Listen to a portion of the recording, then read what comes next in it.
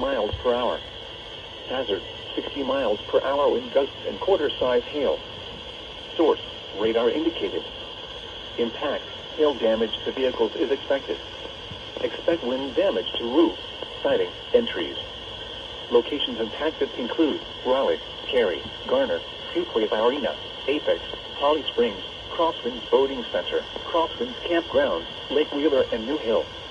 Prepare immediately for large hail and damaging winds.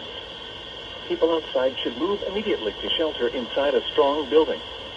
Stay away from windows. Repeating, a severe thunderstorm warning has been issued until 4.30 p.m. for the following counties in North Carolina, Chatham and Wake.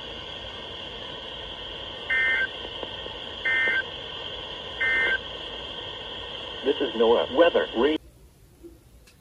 341 on this Friday afternoon. I'm meteorologist Miners with a look at another severe thunderstorm warning that's now been issued for Wake County until 4:30. It includes the easternmost parts of Chatham County as this storm is right on top of Jordan Lake right now and coming just north. Actually